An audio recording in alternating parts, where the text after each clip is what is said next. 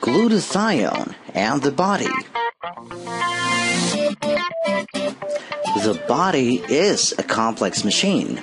Even from within the smallest constituent of the human body, the cell, you can see the intricate system by which the body acts upon to be able to allow us to do the many things we do in our daily lives.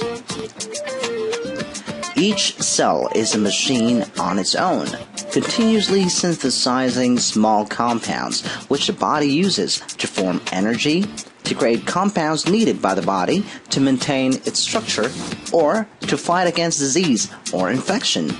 One of the molecules the cells make is glutathione. Without glutathione, our bodies would be vulnerable and weak. This is because glutathione has a protective function over the body. Its main function is to act as the body's most powerful antioxidant by preventing the damage that can be caused by free radicals. Free radicals have the capability to destroy normal cells of the body since they do not choose the compounds they react to. Glutathione has a lot of reserved electrons by which free radicals can react with, thus sparing the normal cells and preventing their damage or destruction.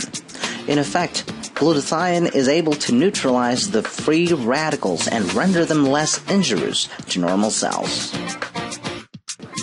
Another function of glutathione is a detoxifier and eliminator of harmful substances in the body. Presence of these substances can cause disease or render vital organs of the body susceptible to attack and damage. Add to this the decreased immune function without glutathione, leading to increased possibility of invasion by other attackers, such as bacteria or viruses. Increased risk and progression of tumors can occur rapidly with low levels of glutathione. Where do we get glutathione? Glutathione is produced in the liver and is made of glutamic acid, glycine, and cysteine.